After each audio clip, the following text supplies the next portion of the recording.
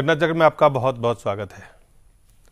चुनाव शायद जल्दी हो, या जल्दी नहीं तो कम से कम लगता है कि राजनीतिक दलों को जल्दबाजी ज़रूर है कि जितना जल्दी वो करवा पाए, क्योंकि जो माहौल बना जा रहा है, बनाया जा रहा है, बन रहा है, उससे साफ़ साफ़ लग रहा है कि तमाम सियासी दल अब इस कसरत में जुटे हुए हैं कि कौन किसके साथ कैसा समीकरण बिठा सकता है।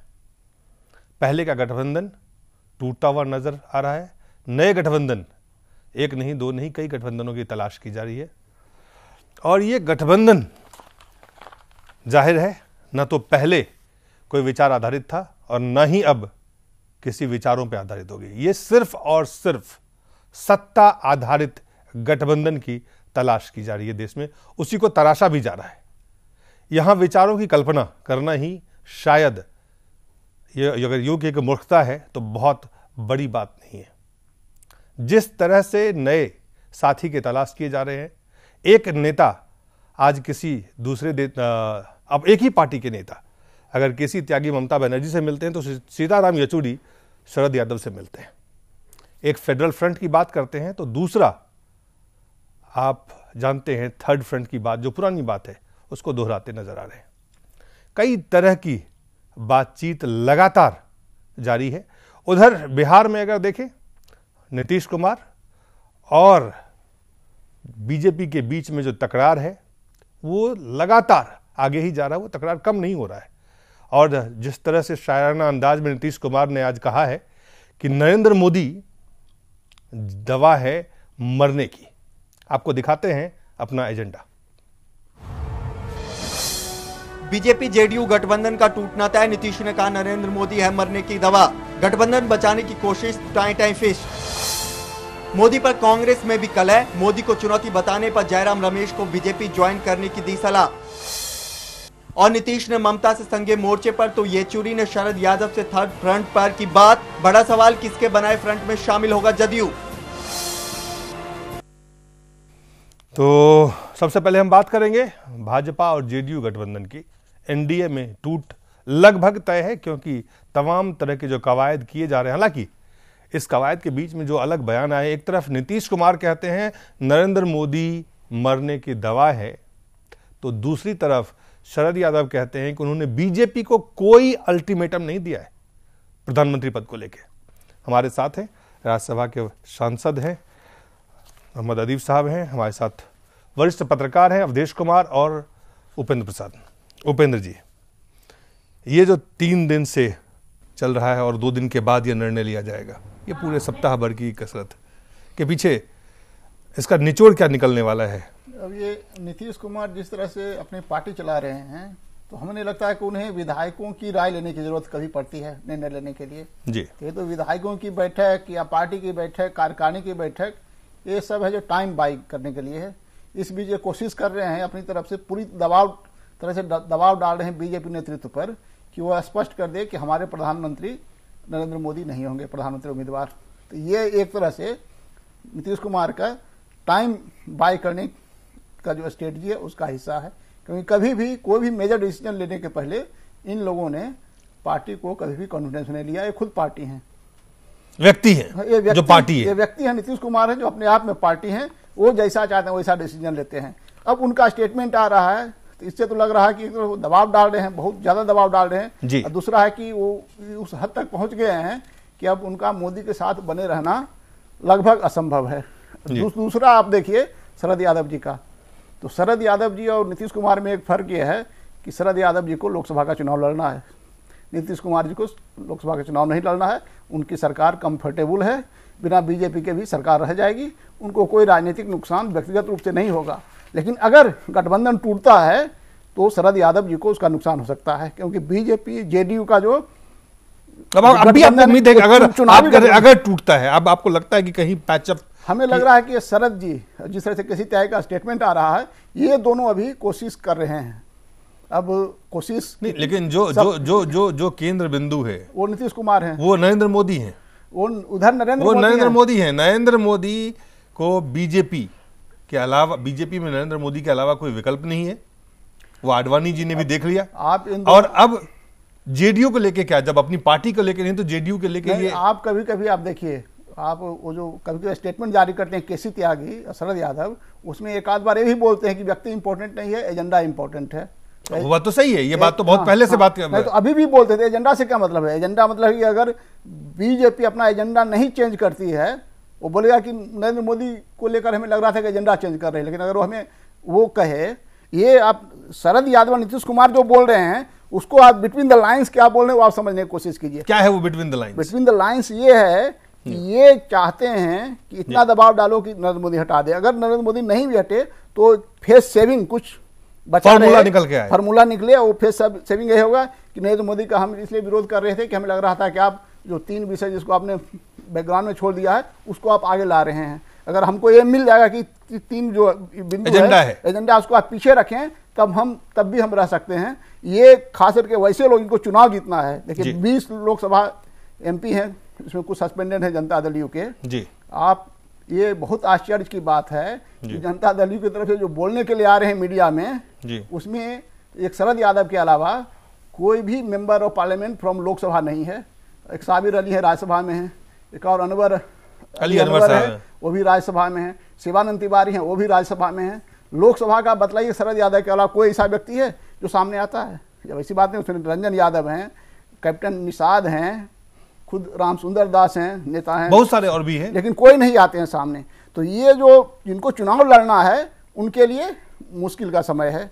लेकिन नीतीश कुमार को अपनी चिंता पहले वो इमेज कॉन्शियस आदमी है? और मोदी का विरोध करते करते उस स्तर तक पहुँच गए हैं कि उनके लिए पीछे वही- वही- दोनों बातें हैं, दोनों बातें हैं, जो बात शरद यादव जो चाहेंगे जी। मैं ये बोला शरद यादव को क्या उनकी क्या हैसियत रह गई है ये ये असली समस्या है कि ये चाहकर भी ये कुछ नहीं कर सकते। ये ज़्यादा राष्ट्रीय अध्यक्ष ज़रूर हैं हाँ, लेकिन उनकी चलती नहीं है पार्टी में सब जानते हैं। ये ज़्यादा ज़्यादा नीतीश कुमार को कोशिश करेंगे मनाने की लेकिन हमें नहीं लगता कि ये सफल हो पाएँगे। नीतीश कुमार ने अगर विचार कर लिया है कि हमें हटना है तो ये चाहकर भी उनको। उनकी राय को अब बदल नहीं सके सकते। अवधेश जी आपके पास आते हैं दुआ देते हैं जीने की दवा करते हैं मरने की। ये कह रहे हैं नीतीश कुमार। वैसे भी मरने की दवा नहीं होती है मरने के लिए तो कोई विष दिया जा सकता है। इसीलिए ये ये जो जिसने भी ये शेर लिखा है उसने नहीं लिखा नहीं है नीतीश कुमार ने कहा है। हाँ वो कहा है वो मैंने भी सुना है उनके वक्तव्य सुने हैं तो मरने के लिए हमेशा जो है दवा की कोई ज़रूरत नहीं है वो विष दिया जा सकता है। लेकिन समस्या यह है कि अगर स्वयं ही कोई व्यक्ति अपने मरने के लिए दवा ले रहा हो, उसको कौन बचा सकता है? अभी हमारे मित्र उपेंद्र प्रसाद जी ने बहुत सुंदर विश्लेषण किया है कि अब इस समय नीतीश कुमार की हालत यह है कि वो स्वयं अपनी नासमझी से आत्महत्या, राजनीतिक आत्महत्या के के रास्ते इतना आगे बढ़ चुके हैं, इतना खाई स्वयं खोद चुके हैं कि अब उसमें वापस आने का कोई रास्ता नहीं बचा है। ये उड़ीसा में नवीन पटनायक ने जो कुछ भी किया, उसके बाद से इनको भी एक प्रेरणा थी कि शायद हम उड़ीसा की पुनरावृत्ति बिहार में भी कर लेंगे। जबकि वो भूल गए कि उड़ीसा में एक बीजू पटनायक कल्ट है और उसके पुत्र के रूप में उसकी एक अलग पहचान, एक अलग तरीके की राजनीति है। बिहार में वो स्थिति नहीं है। तो इसीलिए वो जो कह रहे हैं कि दुआ और दबाव, वो ये उनके अपने कृत्य अपने कर्तृत्व का ये परिणाम है। आज स्थिति ये है कि एक ऐसा गठजोड़ जिसमें एक कुछ छोटे मोटे बयानों को छोड़ दे तो वाम दलों के बाहर सबसे बेहतर गठजोड़ जिसमें बिल्कुल सुमेल हो, जिसमें भारतीय जनता पार्टी एक सहयोगी की भूमिका में रहा हो नीतीश कुमार का, ऐसा गठजोड़ टूटने के कगार पर पहुँच गया है। गठबंधन नहीं भी टूटा तो दोनों के मन अब टूट चुके हैं। कार्यकर्ता विभाजित हो चुके हैं। जो मतदाता लालू प्रसाद के खिलाफ संयुक्त होकर मतदान किए थे, उनके बीच विभाजन हो चुका है। और साथ ही साथ पूरे बिहार में जो एक मनोवैज्ञानिक और सांस्कृतिक म- ये मनोवैज्ञानिक और सांस्कृतिक परिवर्तन हो रहा था कि भारत में, बिहार में भी कुछ बेहतर हो सकता है, उसको भी धक्का पहुँच रहा है। तो ये नीतीश कुमार स्वयं जो है अपना खलनायक खुद बने हैं। और दिलीप जी, मैं ये भी कहना चाहूँगा कि यद्यपि हम लोग पढ़ते हैं कि इतिहास अपने को दोहराता नहीं है, लेकिन मैं मानता हूँ कि केवल पात्र अलग होते होंगे, घटनाएँ अलग होती होंगी परिस्थितियाँ अलग होंगी, लेकिन उसी रूप की घटनाएँ हमेशा घटती है। 1977 में एक बेहतर प्रयोग को दोहरी सदस्या के नाम पर जो है समाप्त कर दिया गया। कुछ लोगों को ऐसे ही नीतीश की तरह बीमारी हो गई कि आरएसएस के जो सदस्य हैं, वो जनता पार्टी में न रहे और वो टूट गई।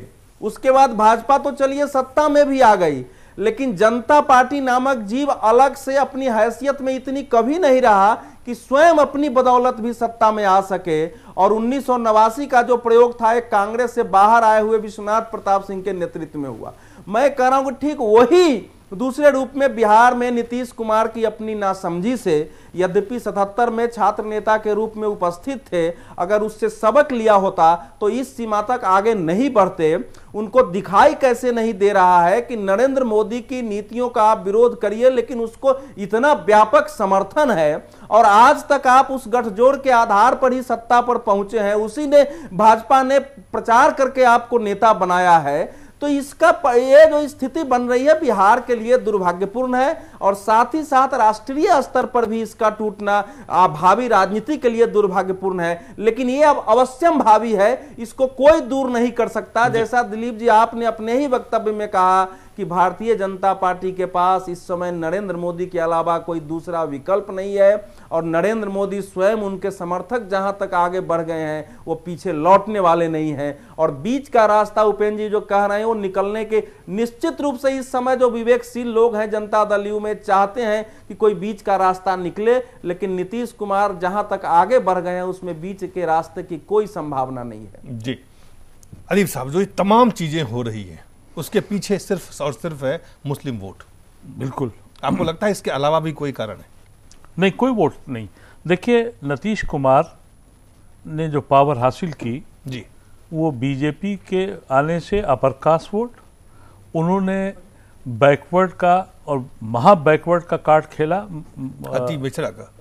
अति पिछड़ा महादलित। जी उसका कार्ड खेला और उस मुसलमानों को साथ जोड़ के उन्होंने ये पावर हासिल की। अभी उनकी ये बात समझ में आ गई कि भाई उधर लालू और पासवान कटिया डाल के बैठ गए और उन्होंने जो बीजेपी और नरेंद्र मोदी को कहना शुरू किया तो इनके पास पहला एक चारा ये था कि ये कोशिश करते रहे कि अडवाणी जी को सेकुलर फेस बता दें। उसमें अपनी जान बचाते रहे। हालाँकि हकीकत ये है कि सन सैतालीस में अगर ज़मीन बटी तो बानबे में दिल बटे। और दिल बांटे अडवाणी जी ने, खल खेत, खलियान, शहर, बाज़ार, सब जगह एक बारूद से उड़ा दिया सबको। आज वो सेकुलर फेस इसलिए बन गए कि बीजेपी ने सब करने के बाद भी 180 सीटों पर पहुँचे। फिर मदद लेनी पड़ी, एक सेकुलर फेस अटल बिहारी वाजपेयी की। तो अडवाणी जी की ये सोच ये थी कि भाई मैं अगर रहूँगा और मैं सेकुलर फेस रहूँगा तो मैं सरकार में आ जाऊँगा। लेकिन आरएसएस ने यह सोचा कि ये बारूद सील गया। इतना करने के बाद भी 180 से ऊपर नहीं पहुँचे। तो एक ऐसा बारूद लाओ, जिसकी इतनी कुवत हो कि हम 200 का आंकड़ा पास कर जाएँ। इसलिए उनकी मजबूरी है कि उनको मोदी को लाना पड़ेगा। इसलिए कि मोदी हो, अमित शाह हो, जिनके ऊपर मुकदमे चल रहे हैं, जो बेल पे हैं, उनको लाओ, माहौल और गरमाओ 200 का आंकड़ा पास कर लो। तो बीजेपी की सोच ये रही कि अगर हम नतीज से कुछ सीटें कम करते हैं तो यूपी में और दूसरी स्टेट में हम सीटें उससे ज़्यादा बढ़ा लेंगे। ये उनकी फिलॉसफी है। नतीश कुमार का मसला ये है कि वो ये सोचते हैं कि अगर मेरा वो मुस्लिम वोट भाग गया जिसका एक रिज़ल्ट अभी उन्होंने बाई इलेक्शन में इतनी ह्यूज मार्जिन से वो हार गए। जी। तो अब उनके पास कोई दूसरा समीकरण नहीं है। एक बात आपने अपने रिमार्क में कही वो बिल्कुल मैं उससे सहमत हूँ कि कोई ना पॉलिसी है न कोई आइडियोलॉजी है एक मकसद है पावर कैसे हासिल की जाए। एक पावर का तरीक़ेकार इन लोगों ने देखा था कि नहीं आ पाए थे। तेरह दिन तक बीजेपी सरकार नहीं बना पाई थी। अदीब साहब मैं आपके पास आता हूँ। फेस लाना पड़ा हमारे साहब साबिर अली साहब हैं जो। जेडीयू के नेता हैं सांसद हैं राज्यसभा से। साबिर अली साहब बहुत बहुत स्वागत है आपका। शुक्रिया। ये गठबंधन जो है उसका टूटना तय है। ये अभी देखिए अभी जो बीजेपी मीटिंग चल रही है। जी। और जो भी एक दो रोज में सामने आ जाएगी जी मैं ये पूछ रहा हूँ कि बीजेपी जेडीयू गठबंधन टूटना तय है अब? यही मैं कह रहा हूँ उसी बात का जवाब दिया कि अभी एक दो रोज में जो भी बात होगी वो सामने हमारे पार्टी में विचार विमर्श हो रहे हैं और जो भी निर्णय होगा वो आप लोगों के सामने होगा इस देश के सामने होगा। जो लेकिन जो केंद्र बिंदु में है तम इस गठबंधन के अगर टूट होते हैं तो उसके पीछे नरेंद्र मोदी एक कारण है। क्या उस पर किसी भी तरह की संभावना आपको नज़र आ रही है कि आप उसको गठबंधन को बचा सकते हैं? देखिए गठबंधन को बचाने और का सवाल है बीजेपी अलग पार्टी है हमारी पार्टी अलग पार्टी है दोनों की अलग अलग एक्टिविटी है। हम लोग कॉमन में नेशनल एक कॉमन एजेंडा था उस पर काम कर रहे थे। और हमारी पार्टी की जो लाइन थी, वो एक साल पहले हम अपने गठबंधन के बड़े साथियों को बता दिए थे कि हम क्या चाहते हैं इस देश की बात कैसे आदमी के हाथ जाना चाहिए, जो लड़ाई लड़े 2014 की, और वो हमने क्लियर कर दिया था। और उससे कहीं ना कहीं बीजेपी डिबेट करिए, इसलिए हमारी पार्टी की मुमकिन चालू मैं एक सवाल पूछना चाहता हूँ साबिर अली साहब। क्या आपकी पार्टी का गठबंधन व्यक्ति से है या ये गठबंधन कुछ मुद्दों पे आधारित गठबंधन है। देखिए मुद्दे और ये देश के बहुत सी ऐसी बातें हैं जो बिल्कुल किसी कीमत पे बर्दाश्त नहीं है। इसलिए हमारी पार्टी मुझे लगता है कि एक दो रोज में अपने बातों को साफ़ तो वो तो बिल्कुल साफ़ है कि दो दिन आप साफ़ करेंगे। एक तो ये पता नहीं चलता है कि व्यक्तिगत व्यक्ति मुद्दा है या आ, जो मुद्दे हैं वो आ, विचार है जो आपके कम जो मिनिमम प्रोग्राम है उस वो मुद्दे हैं। लेकिन एक और सवाल है कि अगर नरेंद्र मोदी कम्युनल हैं तो लालकृष्ण आडवाणी कैसे सेकुलर हैं? हाँ। अगर आप अगर उनको समर्थन करते हैं तो नरेंद्र मोदी क्यों कम्युनल हो जाते हैं? ये बहुत अहम सवाल है। 2009 में सपोर्ट कर चुके हैं उनको। जी। ये बहुत अहम सवाल किया आपने। वो सवाल का शायद जवाब नहीं देना चाहते थे अभी। साबिर अली साहब पार्टी के जो अभी अंदरूनी तमाम तरह के मामले चल रहे हैं शायद इसीलिए वो फ़ोन से हमारे साथ बने रहना नहीं चाहते हों। लेकिन दिलीप जी ये प्रश्न जो है इस प्रश्न में भी एक दुराग्रह छिपा है जी। ये सेकुलर कौन है और कॉमनल कौन है ये परिभाषा कौन देगा? ये कैसे तय होगा इस देश में? ये तो बड़ी विचित्र स्थिति है। आज मुझे किसी ने एक हिसाब दिया कि छियालीस लोग कांग्रेस के शासन में दंगों में मारे गए। इसमें अगर 1200 लोग मरे हैं, उसको आप फांसी पर चढ़ाने पर लगे हैं। तिरानवे के दंगे, भागलपुर के दंगे, दिल्ली के दंगे, उनके साथ इनको बैठने में कोई समस्या नहीं है। एक नरेंद्र मोदी को आपने जो है निशाने पर ले लिया हुआ है। मैं तो मेरी दृष्टि में, मैं ना तो लाल की आडवाणी को सांप्रदायिक मानने के लिए तैयार हुई है बिल्कुल नन सेकुलर हैं और मेरे को आप कहेंगे तो मैं इस समय नरेंद्र मोदी को बिल्कुल 100 परसेंट नन सेकुलर मानने के लिए तैयार है सेकुलर नन सेकुलर मानने के लिए तैयार नहीं अगर इन दोनों को मानूँगा तो इस समय अनेक नेताओं को मुझे कॉमनल और नन सेकुलर कहना पड़ेगा, जो दूसरी पार्टियों में भी है। जी। नहीं, आप, आपकी राय है, बिल्कुल ज़ाहिर है, लेकिन जो लोग ये तो सवाल उन लोगों ने उठाया है जो कहते हैं। खुद कहा है आप, कि ये आज आप ये देखें सेकुलर बनाम गैर सेकुलर का नहीं है केवल मुस्लिम वोट का मामला है। सारे सोलह प्रतिशत बिहार में मुस्लिम वोट है। साठ सीटें ऐसे हैं जो मुस्लिम चाहे जिसको चाहे उसको जिता सकते हैं। तो ये ध्यान वहाँ है। ये तो बिल्कुल एक पाखंड की एक बिल्कुल पाखंड की राजनीति नीतीश कुमार कह रहे हैं। ये कहीं पे निशान निगाहें और कहीं पे निशाना बहुत और जनता इसको समझ इस, रही है। इस समय देश में जो माहौल है वहाँ सत्ता के लिए लोग तमाम हथकंडे अपनाते हैं। अगर नीतीश कुमार मुस्लिम वोट के लिए अपना रहे हैं तो उसमें गुनाह क्या है? नहीं गुनाह यह है कि आप एक बिल्कुल एक एक गलत चीज़ को सामने ला करके आप मुस्लिम वोट के लिए कर रहे हैं आप कहते नहीं है ना।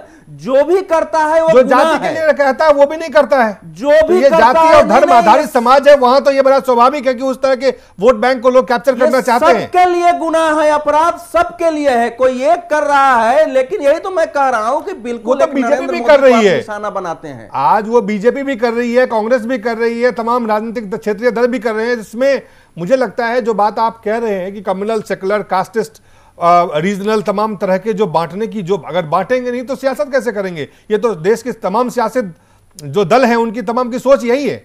लेकिन ये बांटो और राज करो। ये दुर्भाग्यपूर्ण है ना देखिए एक तरफ़ कम्युनलिज्म है दूसरी तरफ़ जो जाति तोड़ने के रूप में राजनीति में आए थे, वो कुछ जातियों के या जाति समूहों का समीकरण करके उसके वोटों की राजनीति कर रहे हैं। कम से कम नरेंद्र मोदी इन लोगों से सत सौ गुना बेहतर है। जो ये तो कहता है भले ही कि भैया हम हम गुजरात से जाति की राजनीति को खत्म कर रहे हैं। नहीं नहीं आप ये आप आपको लग रहा होगा कि चलिए इस पे अलग बहस कर सकते हैं कि नरेंद्र मोदी कहते हैं कि चलिए जाति की राजनीति नहीं करते हैं हम हम विकास की राजनीति करते हैं। क्या इस बात को आप मानते हैं?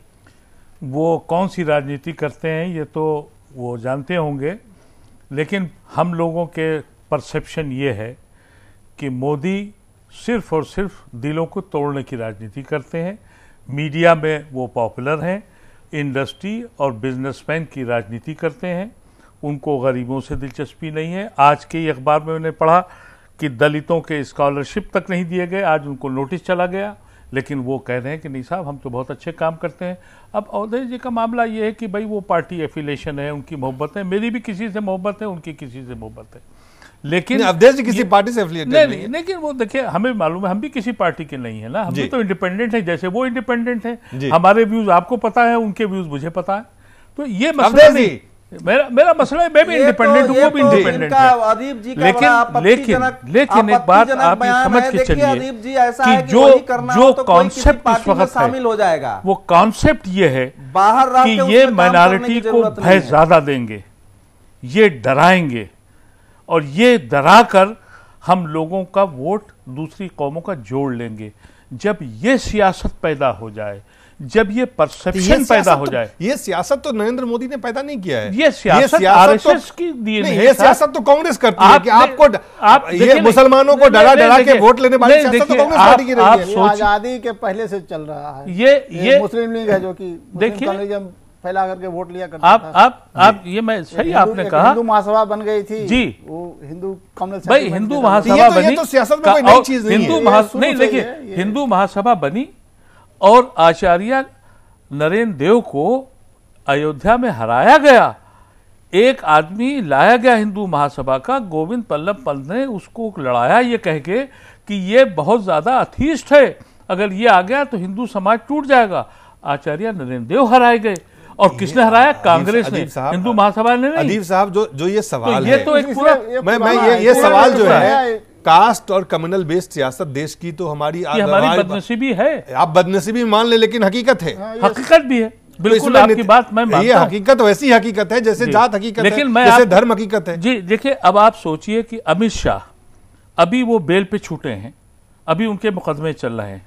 अभी आईबी के ऑफिसर की इंक्वायरी और अब सीबीआई और आईबी में भी झगड़ा चल रहा है। कहाँ तक जा रहा है मामला? लेकिन अमित शाह एक ऐसा फेस है जिससे कि वो एक भय पैदा करेंगे जिसके लिए वो यूपी भेजे गए। तो ये जो सियासत चल भय पैदा करेंगे या दूसरे भय पैदा कर चुके हैं ऑलरेडी कि वो वो आएँगे तो आपको भय लगेगा। अब वो मुलायम सिंह इसको क्या करते हैं इसको कांग्रेस क्या इसको करते हैं? इसको मुलायम और कांग्रेस भुलाएगी। अब ये जो तो ये जो सवाल है कि क्या मुसलमान क्या वही सवाल है। 20% ये- बकरी ये- यहीं पे यहीं पे आपसे मैं सवाल पूछना चाहता हूँ। क्या मुसलमान मतदाता जी। नीतीश के लिए कांग्रेस के लिए मुलायम के लिए वो टारगेट हैं जिनको वो भय दिखा करके डरा करके वोट लेते हैं? या तो- नरेंद्र मोदी वो है जो जी। नतीश तो अब लूजर हो चुके।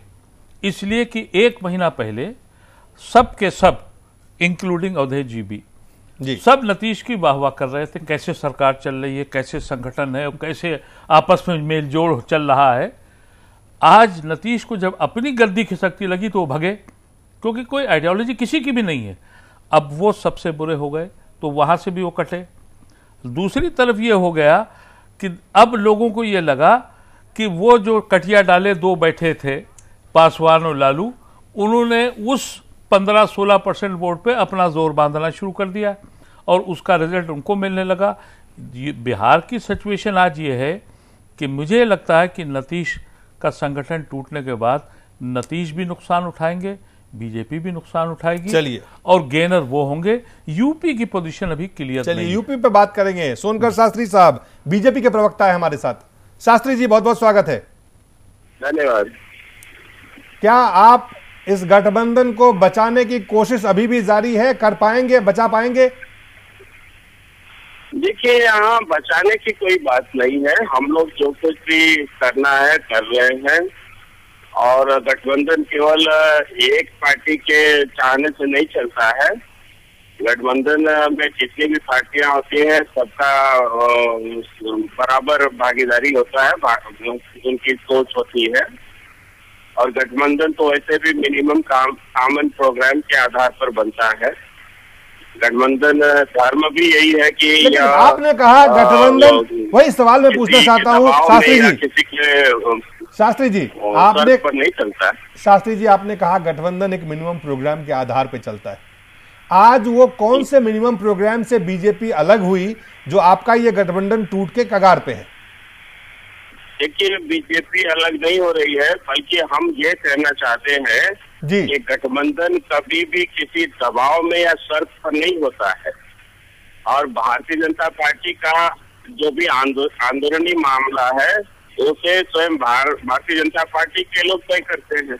अब भारतीय जनता पार्टी में प्रधानमंत्री का दावेदार कौन होगा प्रधानमंत्री का उम्मीदवार कौन होगा ये भारतीय जनता पार्टी तय करेगी। ये जेडीयू नहीं कर सकती है। और अगर इस प्रकार का वो व्यवहार करते हैं तो यह व्यवहार गठबंधन धर्म के विरुद्ध है। तो इसका क्या माना जाए? गठबंधन का टूट अब अवश्य संभावी है। देखिए हम लोग तो सत्ता के लिए राजनीति नहीं करते हैं सिद्धांत के लिए करते हैं। जी। और इसमें कौन सा तो सिद्धांत था? है कि राजनीति में समूह की चिंतन करनी चाहिए व्यक्ति की नहीं। नहीं लेकिन एक व्यक्ति को आप आप जो पार्टी कभी कलेक्टिव लीडरशिप की बात करती थी आज वो भी एक व्यक्ति को बढ़ा के चुनाव लड़ने की तैयारी कर रहा है। नहीं तो ये सिद्धांत आपने बदला ऐसा नहीं है कि कोई सिद्धांत जो है आपको मैं इतना कहना चाहूँगा कि तो देश ने में अनेकों प्रधानमंत्री के दावेदार होते हैं पर प्रधानमंत्री तो सिर्फ़ एक होता है। तो किसी न किसी को तो उस पर आना ही है। पर इसमें अगर इसको व्यक्तिवाद की संज्ञा आप देते हैं तो मैं इससे सहमत नहीं करता हूँ। आपकी इस बात को चलिए एक अलग विषय हो सकता है। मैं ये जानना चाहता हूँ कि अगर आपका गठबंधन बिहार में नहीं टिक पाता है नहीं रह पाता है टूटता है तो ऐसे में आपकी तैयारी क्या है? किस तरह से आप चुनाव की तैयारी कर रहे हैं बिहार में? देखिए हम लोग बिल्कुल तैयार हैं। हम लोग मिशन 2014 को देख रहे हैं कि इस देश से कांग्रेस को कैसे हटाना है। यूपी सरकार ने इस देश को एक ऐसी स्थिति में डाल दिया है जहाँ गरीब भूख से मर रहे हैं और यूपी सरकार के जिन तमाम मंत्री घोटालों से अपना पेट भर रहे हैं। ऐसे में नरेंद्र मोदी या अन्य लोगों के टॉपिक बनाने की बजाय हमारे गठबंधन के मित्रों को सोचना चाहिए कि इस देश को कैसे हम बचाएँ। मुद्दा इस देश में भ्रष्टाचार और करप्शन को क्या बीजेपी एक आखिरी सवाल शास्त्री साहब क्या बीजेपी नरेंद्र मोदी को प्रधानमंत्री बनाने से परहेज करेगी? देखिए हमारे यहाँ संसदीय व्यवस्था है संसदीय दल है वरिष्ठ लोगों का एक पैनल है वो लोग इस पर विचार करते हैं और वो लोग तय करते हैं। और अभी इस मुद्दे पर अभी बहुत शास्त्री जी, आपका गठबंधन आज टूट रहा है। जल्दी हमारे राष्ट्रीय अध्यक्ष जी इस मुद्दे पर भी अपने विचार देंगे। शास्त्री जी आज आपका गठबंधन टूट रहा है। इसको टूट से बचाने के लिए क्या नीतीश कुमार की जो मांग है कि आप नरेंद्र मोदी को प्रधानमंत्री का उम्मीदवार न बनाएँ इस पे आप विचार करेंगे? देखिए हम लोग इस प्रकार के किसी अनर्गल मांग को स्वीकार नहीं करेंगे। चलिए बहुत बहुत धन्यवाद शास्त्री जी। बहुत बहुत धन्यवाद आपका। बिल्कुल बहुत साफ़ कर दिया बीजेपी के प्रवक्ता है कि हम किसी भी अनर्गल मांग को स्वीकार नहीं करेंगे। बात संकेत बहुत साफ़ है उपेंद्र जी। बीजेपी के लिए भी अब पीछे हटने के लिए की कोई गुंजाइश नहीं बची है क्योंकि बीजेपी एक बड़ी पार्टी है राष्ट्रीय पार्टी है उसे देश भर में चुनाव लड़ना है उसे करीब 400 सीटों पर चुनाव लड़ना है। तो इस तरह से होगा कि एक छोटी पार्टी के दबाव में आकर के जी। अपने पूरी कार्यकारिणी का या उसका जो पूरा संगठन है रैंक एंड फ़ाइल है उसको निराश कर दे। ये किसी भी पार्टी के लिए बीजेपी क्या इसकी जब कोई दूसरी पार्टी होती तो वो भी नहीं करती। उसे किसी नेता को चुनने के लिए अपने जो रैंक एंड फ़ाइल वर्कर्स उसका ध्यान रखना ही पड़ेगा और रखना भी चाहिए। कोई भी डेमोक्रेटिक पार्टी है तो उसके लीडरशिप पर जो डेमोक्रेटिक प्रेशर पड़ रहा हो उसी के तहत काम होना चाहिए। तो कई एक कई कई सारे कई सारे अवधेश जी इसमें बात आ रही है। आपसे जानना चाहता हूँ। एक नेतृत्व का मसला है। देखिए ऐसा है मैं आपसे सवाल ये जानना चाहता हूँ अवधेश जी जी। कि नेतृत्व का मसला है विचार की बात हो मुद्दों की बात हो कॉमन यूनियन प्रोग्राम की बात हो इन चीज़ों को दरकिनार करके दो व्यक्ति, नरेंद्र मोदी के लिए बीजेपी और नीतीश कुमार। ये दोनों व्यक्ति जिस तरह से आज एक गठबंधन को जहाँ पे ले आए हैं, इससे देश की सियासत पे क्या असर पड़ने वाला है, ये बताएँ। क्या हमारी देश की सियासत अब व्यक्तिवाद या हमेशा से यही रहा है? नहीं नहीं, देश की सियासत देखिए, संसदीय लोकतंत्र के बारे में गांधी जी ने बहुत साफ़ साफ़ व्यू दिया था। अंततः हम कहते संसदीय हैं, लेकिन कोई न कोई चेहरा हो जाता है। और हम लोग जब पॉलिटिकल साइंस के विद्यार्थी थे तो ये पढ़ते थे कि भारत में राजनीतिक चेहरे तो बहुत हैं, लेकिन राजनीतिक दल नहीं है, इसी संदर्भ में कहा जाता था। लेकिन यह सरलीकरण होगा कि नरेंद्र मोदी और केवल नीतीश कुमार ने यह स्थिति पैदा कर दी है। ये बात ठीक है कि नीतीश कुमार ने लगातार जिस सीमा माने एक सीमा बाँध करके अगर नरेंद्र मोदी का मुद्दों के आधार पर विरोध करते तो बीच का एक रास्ता निकल सकता था। लेकिन जब व्यक्ति अपने राष्ट्रीय परिषद के अधिवेशन में अपने संगठन पर, अपने सिद्धांत पर, सरकार के विरुद्ध आंदोलनों पर, भविष्य के कार्यक्रम पर बोलने की बजाय पचासी प्रतिशत भाषण का हिस्सा एक व्यक्ति पर केंद्रित करेगा तो उस गठजोड़ के रहने का कोई मतलब नहीं है। संसदीय लोकतंत्र में संख्या बल लोकसभा का महत्वपूर्ण है। सारी पार्टियाँ इसी के अनुसार गणना करती हैं। इस समय सिद्धांत और विचार इस देश में गौन हो गए हैं। इसीलिए हम लोग बार बार कह रहे हैं कि एक नया विकल्प खड़ा होना चाहिए। न तो देश विकल्प नरेंद्र मोदी है, न लाल कृष्ण आडवाणी है, न नीतीश कुमार है। ये सब की राजनीति एक ही है। केवल अंतर, केवल दल के नाम का अंतर है, इनके भाषा का अंतर है, लेकिन सब एक ही प्रकार की राजनीति करते हैं। इसलिए राष्ट्रीय राजनीति में मेरी दृष्टि से इसका तीन प्रभाव है। जो पहले से आ रही सिद्धांतहीन सत्ता की राजनीति है, वह और सशक्त होती हुई दिखेगी। दूसरा यह है कि केंद्रीय स्तर पर जो एक गठजोड़ एनडीए का जो पहला साथी जनता दल यू था, क्योंकि मैं मानता हूँ कि शिवसेना और अकाली दल तो पहले से भाजपा के साथ थे। वो एनडीए नहीं भी बनता, तब भी इनके साथ होते। वो पहले साथी के टूटने से एक गठजोड़ को लेकर जो उम्मीद हो सकती थी, वो धाराशाही होगी, भविष्य में क्या होगा नहीं कहा जा सकता है। और साथ ही साथ, जो बिहार की स्थिति है, बिहार के लिए भी एक बहुत बड़ा धक्का होगा। लेकिन मेरा यह कहना है, एक मैं और बात भी कहना चाहूँगा, ये पहली बार बहस में अदीब साहब ने एक व्यक्तिगत रूप से मुझे एक एफिलिएटेड कर दिया है। मैं दूसरा कोई होता, हमारे मित्र हैं तो शायद इसका मैं दूसरे रूप में उत्तर देता। लेकिन कभी मैं निजी स्तर पर किसी के बारे में बहस में कभी कोई वक्तव्य न देता हूँ न उसको लेता हूँ। मेरा इतना ही कहना है कि अगर मेरा कहीं एफिलिएशन हो तो मैं उस पार्टी में जा करके काम करूँगा मुझे किसी ने रोका नहीं है। मेरा अगर एफिलिएशन एक पत्रकार के मतलब नाते नहीं, नहीं था। तो वो केवल सच से एफिलिएशन हो सकता नहीं है। हमने आपको किसी पार्टी से जोड़ा नहीं है। नहीं, मैंने कहा आप भी इंडिपेंडेंट विचार मैं भी का इंडिपेंडेंट विचार का एफिलिएशन है। मैं अगर कोई एफिलिएशन है तो भारत का हित किसमें है? किसमें शांति हो सकता है सामाजिक समन्वय हो सकता है? चलिए, लेकिन नहीं लेकिन अगर कोई बात आएगी कि भाई नरेंद्र मोदी हो या उसकी जगह अदीब साहब हो तो मुझे जो सच लगेगा आप भी इंडिपेंडेंट है मैं भी इंडिपेंडेंट हूँ। आपकी राय का मैं कदर कर रहा हूँ। मैंने ये कहा कि मेरी अपनी राय है आप भी इंडिपेंडेंट है आपकी अपनी राय है। आपको मैंने एफिलेट नहीं किया है। पहली बात। दूसरी बात जो अभी आपने कही मैं इसमें कहूँ कि देखिए, अब बीजेपी के पास ने एक अपना लाइन ऑफ़ एक्शन ले लिया है। वो नरेंद्र मोदी को अपना सिपे सालार बना के मैक्सिमम वोट हासिल करेंगे। अगर वो उस लेवल पे मैजिक फिगर पे आते हैं तो नरेंद्र मोदी रहेंगे। लेकिन जब इलेक्शन हो जाएगा एनडीए का फॉर्मेशन की ज़रूरत पड़ेगी तो बीजेपी के पास कई चेहरे हैं। उसमें राजनाथ सिंह भी हैं, उसमें सुषमा स्वराज भी हैं, और उसमें खुद अरुण जेटली भी हैं उस वक्त वो खुद से इनको पीछे करके एनडीए क्योंकि एनडीए के लीडर बनना आज की डेट में मुझे लगता है नरेंद्र मोदी के लिए इतना आसान नहीं है। लेकिन इलेक्शन के लिए उनके पास बेस्ट चॉइस इस वक्त नरेंद्र मोदी एक, है। एक, एक सवाल है उपेंद्र जी। नीतीश कुमार इतने कच्चे खिलाड़ी नहीं है सियासत के। बिहार की सियासत को वो भी बहुत दिनों से उन्होंने देखा है कि कहाँ किसके साथ मिलने से कब किस तरह का राजनीतिक फ़ायदा निकलता है। ये ये बहुत ही पक्के खिलाड़ी है उस ये मैदान तो के। मैं जानता हूँ उन्नीस क्या, क्या नीतीश कुमार का कैलकुलेशन सिर्फ़ इतना है कि मुस्लिम वोट मिल जाएगा? इसलिए ये करें। ये सिर्फ़ मुस्लिम वोट के कारण नहीं है। जी। नीतीश कुमार जो नरेंद्र मोदी के कारण है जी। के खिलाफ हैं उसका असली कारण है कास्ट पॉलिटिक्स बिहार की जो कास्ट पॉलिटिक्स है उसमें नीतीश कुमार और उनकी पार्टी का वजूद ही मात्र इसलिए है नीतीश कुमार पुश क्यों कर रहे हैं इसको?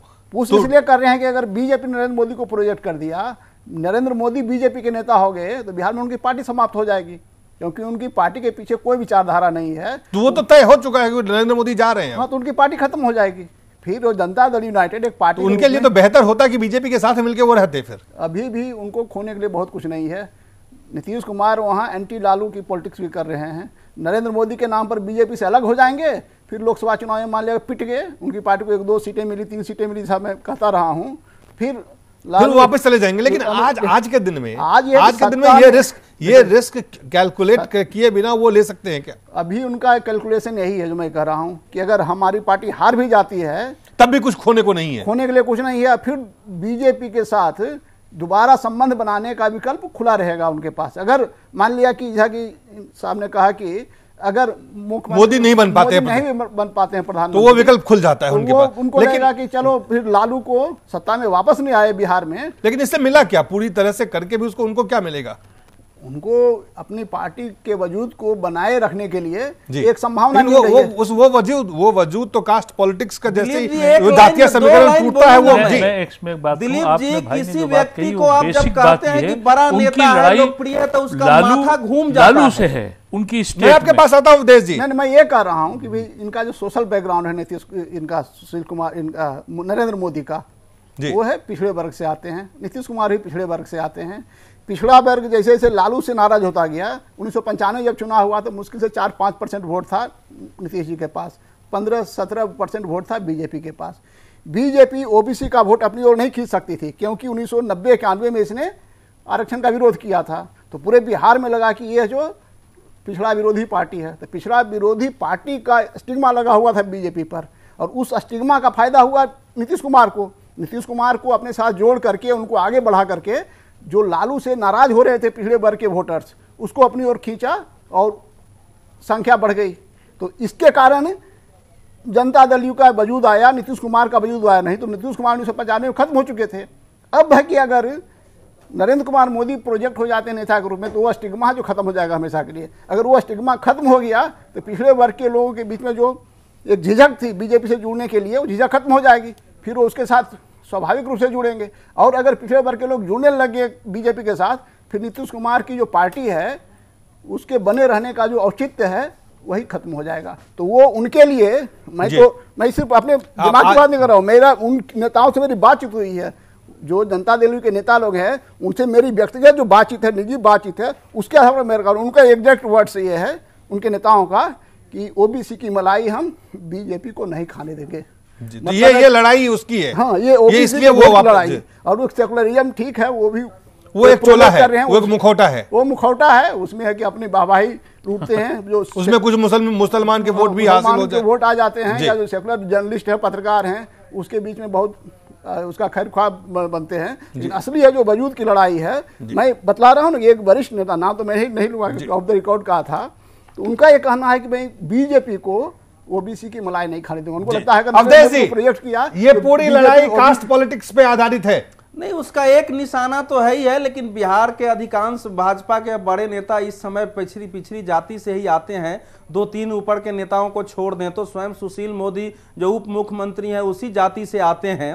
तो उनको भी प्रोजेक्ट किया गया है बाद में। हाँ वो ठीक है नरेंद्र मोदी तो की सिन्हा थे। उपेंद्र उपेंद्र जी के विश्लेषण से मेरी असहमति नहीं है वो भी एक कारण है लेकिन नरेंद्र मोदी इस समय भारत में किसी पिछड़ी जाति के चेहरे के रूप में नहीं है वो एक उभरता हुआ ना बीजेपी नहीं सोचती है वैसा लेकिन नरेंद्र हाँ वो सोचता है नीतीश कुमार सोचते हैं मैं आपकी बात से सहमत हूँ लेकिन उसमें मैं दूसरा जोड़ना चाहता हूँ। तो आप पूछ रहे थे दिलीप जी की कैलकुलेशन कैसे गलत हो गया?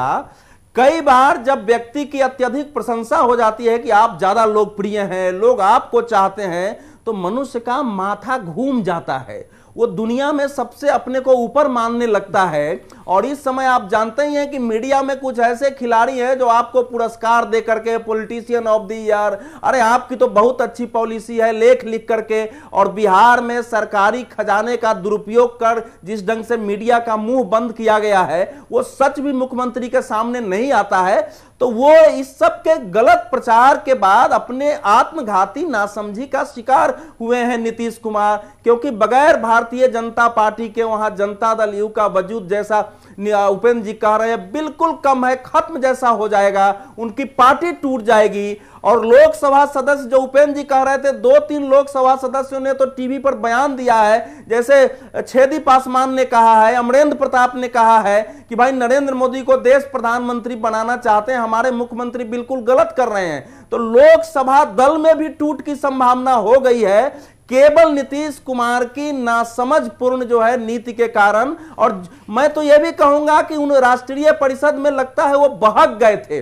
बोलते बोलते इतनी सीमा पार कर गए थे कि उसी दिन गठबंधन टूट जाता अगर भारतीय जनता पार्टी चाहती तो। हमारा समय एक छोटे से ब्रेक का हो गया है। ब्रेक के बाद जल्द वापस लौटते हैं।